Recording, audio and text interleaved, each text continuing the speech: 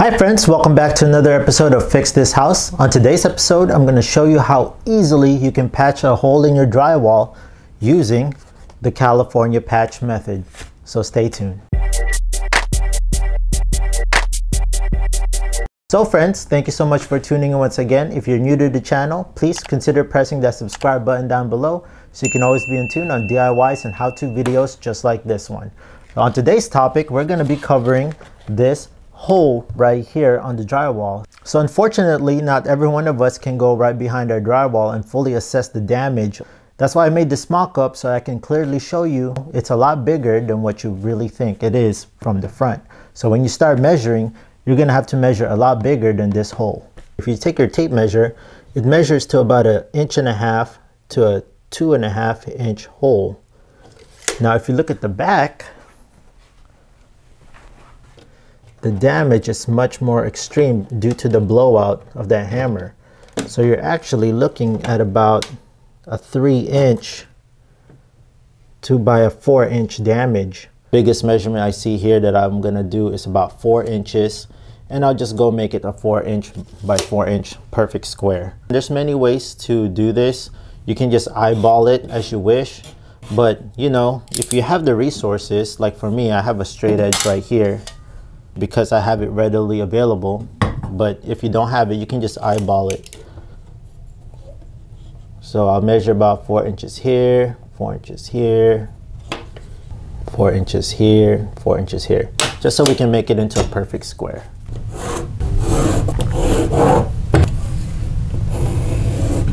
There's two ways that you can cut this hole. You can use a retractable box knife like this one or a keyhole saw made for drywall like this one. I'll cut half with this one and cut half with this one so you can see which method is a lot better for you. But again, using just this would be fine.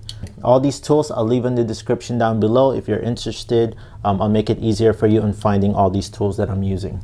Again, be very, very careful when using this knife. You don't want to take out too much of the blade because it could possibly snap off and fly and hit you.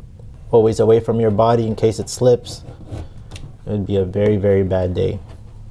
I would run it a few times just so you can get deep in there.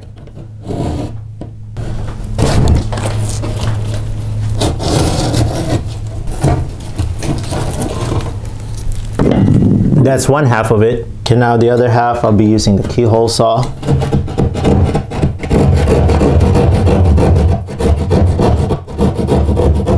Before you go and cut something behind your wall, make sure you assess what's behind there because there could be electrical piping or whatnot and you don't want to end up cutting any of that. Okay, there you have it.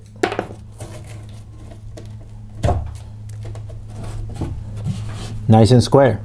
We'll go and measure about an inch and a half on each side so that you can make it for your flaps. Just gonna round it off. It doesn't have to be perfect. I'm gonna go seven. So I'm gonna do a seven by seven piece. Here now is our piece of scrap drywall. So measure about seven to seven piece right here. I'll measure seven, measure seven, like so. If you have a square, use that. If you have any straight edge, that will work as well. Score it. Now to cut drywall, all you gotta do is score the top layer. Scoring means just cutting it just like so, just like that. You don't have to dig all the way deep because this thing breaks off just like that. Just cut the backing right there. Easy. So now measure seven here. Mark it right there. Score the top snap it like, oh, that one I even have to cut, just popped right off. You're gonna use the back, you're gonna flip it over, and then you're gonna lay it against the hole. Go about a quarter inch inward, not perfect to the side, okay? And then go on here, just eyeball it, quarter inch, quarter inch, just like so. Now again, you can do this and cut it at the same time like so like that i don't like doing that because uh, for me i'm just not a perfect you know i'm not i do it i mess up most of the time that's why i rely on straight edges so i'm not going to take my chances it's uh, totally up to you if you have a good and steady hand. I don't, unfortunately. That's why I'm gonna use a straight edge. And you're just gonna gently score the top. You don't wanna go all the way because if you do, you're gonna end up messing up that paper backing that you need. Okay, just like that. Here's a trick.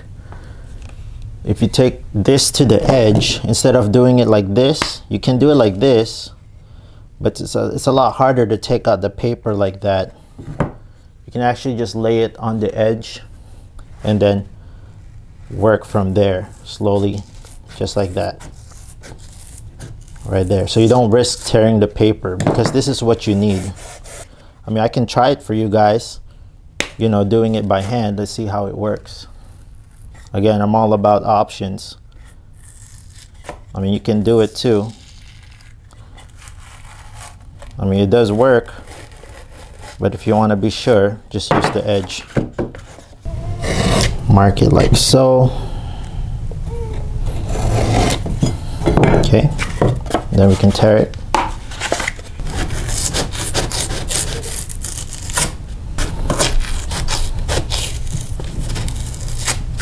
Now that you have this nice and fit, like so, take it back out. Take some of your joint compound, just spread that joint compound on the edge like that. Easy. This is what the paper is gonna be adhering to. You don't wanna make it too thin so that when you start pressing against it, it will actually foam out. And it's okay if you can get some around this square right here. If you get some material there, that's actually good to have a little bit of compound there too. Take some of the joint compound and put it on the edge just like that. So this will fill out the little tiny voids that are on the back to make it flush. Okay, and don't be afraid to get messy. It's only joint compound. All right, so this should fit just like so. If you had access to the back, this is pretty much what it's gonna look like. All that joint compound just squishes to the edges, which is what you want. That's why you want to load it on the sides. Then just push this in, just like so. If you have a bigger hole, you can use your 10 to 12 inch knife and use that to push it in and level it out. Squeeze the excess out, just like that.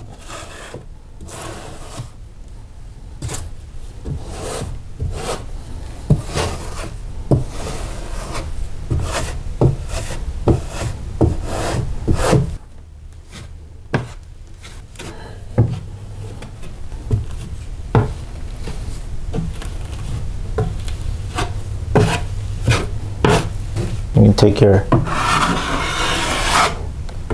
you can take your 10 to 12 inch and then just slowly run it like that. Once you get that nice and applied, I would wait about a day or so to get everything dry, sand it, reapply some more drywall, and then we'll sand it again and flush it out. Maybe do a, set, a third coat on it, and then we should be good to go. So now that we wait about a day, your compound should be nice and dry and it should be ready for sanding. The sandpaper grit that you can use is 100 to 120.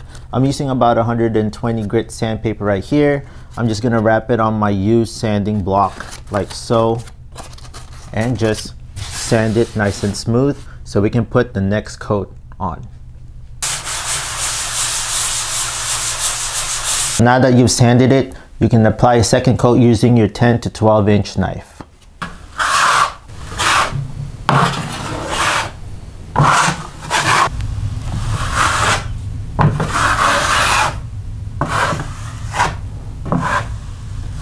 So there you have it friends, easy as that. We applied the second coat, we'll let it dry once again and then wait for it for another day, sand it down.